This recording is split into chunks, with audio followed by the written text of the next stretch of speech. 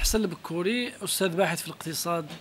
اليوم المغرب شعبا وملكا آه، يحتفل بثورة الملك والشعب وصاحب الجلالة الملك محمد السادس آه، الخطاب الملكي السامي اليوم تحدث عن مجموعة من النقاط.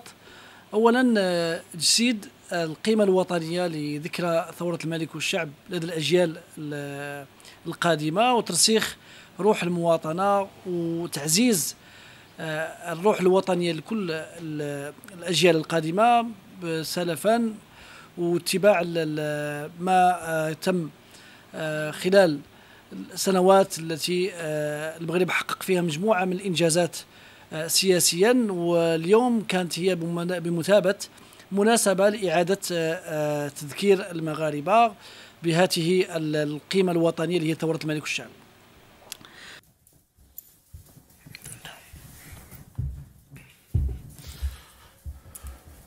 الحمد لله والصلاة والسلام على مولانا رسول الله وآله وصحبه. شعبي العزيز إن تقليد ذكرى ثورة الملك والشعب هي خير مناسبة لاستحضار قيم التضحية والوفاء في سبيل حرية الوطن واستقلاله. وهي ليست فقط حدثا تاريخي وإنما ثورة مستمرة تلهم الأجيال المتعاقبة بنفس روح الوطنية الحقة للدفاع عن الوطن ومؤسساته ومقدساته. صاحب الجلالة الملك محمد السادس تحدث على الانتخابات اللي إحنا تقريبا خلال الأسابيع المقبلة غنكون مقبلين عليها. وبالتالي آه، بدا صاحب الجلالة الملك محمد السادس القيمة المهمة جدا للانتخابات والتي تعتبر هي السبب في تحقيق آه، آه، مؤسسات وطنية قادرة على قيادة المغرب وعلى استمرار أو استكمال المسار اللي يعرفوا المغرب من الناحيه الاقتصادية ومن الناحيه الاجتماعية والسياسية. وبالتالي آه، كانت هناك رسائل مباشرة للمواطن المغربي في حيث يكون آه، عنصر فعال في آه، تحقيق المستهدفات اللي كترغب منها أي دولة الانتخابات. هو المشاركة اللي غتكون مهمة جدا إن شاء الله واللي غادي تساهم فعلا في تحقيق النهضة الاقتصادية للمغرب واستكمال المسار التنموي اللي كيعرفوا المغرب خصوصا أن الانتخابات هذه السنة النتائج ديالها غتكون بمثابة آه، بداية لتطبيق ولتنزيل النموذج التنموي الجديد اللي آه، كيتضمن مجموعة من المحاور المهمة اللي غتساهم في آه، آه، في إضافة وفي الرفع مستويات الدخل لدى المواطن المغربي في آه، الانفتاح على مجموعة من الاقتصاديات في تحقيق نهضة اقتصادية واجتماعية للمغرب وهذا ما يطمح له المغاربة وعلى رأسهم صاحب الجلالة الملك محمد السادس اللي لديه رؤية ثابتة ورؤية متميزة من خلال هذا النموذج التنموي الجديد. وبالتالي كنعتقد أن الانتخابات غتكون واحد النقطة مفصلية في تحقيق التنمية المستدامة للمغرب وفي إعادة الثقة في المؤسسات آه، أو إعادة الثقة في في المرشحين اللي غادي يساهموا في بناء مؤسسات آه، ديمقراطية بناء مؤسسات عندها مجموعة من المعايير اللي كتوافق مع الرؤية الملكية. كما تأتي قبل أيام من الانتخابات المقبلة. تتزامن مع تتزامن مع مرحلة جديدة من المشاريع والإصلاحات في إطار تنزيل النموذج التنموي وتفعيل الميثاق الوطني من أجل التنمية. وتتميز هذه الاستحقاقات بإجراء الانتخابات التشريعية والجهوية والمحلية في نفس الوقت في نفس اليوم. وهو ما يؤكد عمق الممارسة الديمقراطية ونضج البناء السياسي المغربي. أيضا آه، صاحب الجلالة الملك محمد السادس اليوم خلال الخطاب آه، أشار إلى آه، تلك الهجمات المدروسة الموجهة للمغرب.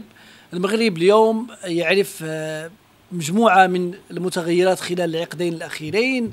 مغرب متطور مغرب طموح مغرب الشباب مغرب الديمقراطية مغرب الحرية والحقوق الحقوق والحريات. مغرب كيتميز مجموعة من من الإيجابيات اللي اليوم للأسف بعض الدول اللي كتستهدف بشكل مباشر المغرب من خلال أو كتستهدف الاتحاد المغاربي من خلال المغرب باعتبار المغرب أحد الدول الرائدة وذات الموقع الاستراتيجي المهم على المستوى المغاربي. ف آه، ما يمكنش نتحدثوا على آه، هجمات موجهة للمغرب إلا آه، بالنظر للتقدم اللي كتعرفوا المملكة المغربية. وبالتالي صاحب الجلالة الملك محمد اشار خلال هذا الخطاب الملكي السامي للهجمات التي كانت فعلا مدروسة وموجهة من طرف بعض دول الاتحاد الأوروبي. واليوم صاحب الجلاله الملك محمد السادس كي كيعبر عن أن المغرب اليوم هو ليس مغرب الأمس. اذا حتى آه، مجموعة من المعايير في التعامل مع المغرب اليوم تختلف. تختلف معايير الضوابط في التعامل مع المغرب لأن المغرب اليوم ليس هو مغرب الأمس. وبالتالي هناك مجموعة من المتغيرات من خلال وهو ما تأكد بالملموس في مواجهة الهجمات المدروسة. التي يتعرض لها المغرب في الفترة الأخيرة من طرف بعض الدول والمنظمات المعروفة بأدائها لبلادنا. فالمغرب مستهدف لأنه دولة عريقة تمتد لأكثر من 12 قرنا فضلا عن تاريخها الأمازيغي الطويل وتتولى أمورها ملكية ومواطنة منذ أزيد من أربعة قرون في ارتباط قوي بين العرش والشعب. والمغرب مستهدف أيضا لما يتمتع به من نعمة الأمن والاستقرار التي لا تقدر بثمن وخاصة في ظل التقلبات التي يعرفها العالم. إذا كما ذكرت المغرب اليوم كي نعم مجموعة من الخيرات. المغرب اليوم لديه مجموعة من الطاقات والموارد وخصوصا أنها المورد البشري. اللي كيسمح ليه أنه يكون من الدول الرائدة وبالتالي ما يمكنش آه، نتقبلوا آه، هجمات بهذا الشكل وما يمكنش نتقبلوا تعامل بهذا الشكل من طرف بعض الدول التي كانت آه، ترسل أو تحاول إرسال مجموعة من الهجمات المباشره على المغرب والتي هي حتى كانت منها التي تمس المصالح الأمنية. واليوم صاحب الجلالة الملك محمد السادس يبدي الرغبة والعزيمة على استمرار المسار التنموي للمغرب والمسار القيادي للمملكة المغربية على المستوى المغاربي لأنه المغرب بموقعه الاستراتيجي بالعراقة ديال المملكة المغربية منذ أكثر من اربعه القرون. فاليوم ما يمكنش آه، المغرب يتقبل آه، تعامل من هكذا نظير وبالتالي يستوجب على حتى هذه الدول أن تأخذ بعين الاعتبار أن المغرب لديه المكانة و الموقع الاستراتيجي والموقع المميز على المستوى الدولي. ورغم ذلك فالمغرب والحمد لله معروف بسمعته ومكانته التي لا نقاش فيها وبشبكة علاقات واسعة وقوية ويحظى بالثقة والمصداقية على الصعيد على الصعيدين الجهوي والدولي. شعبي العزيز يتعرض المغرب على غرار بعض دول الاتحاد المغرب العربي لعملية عدوانية مقصودة.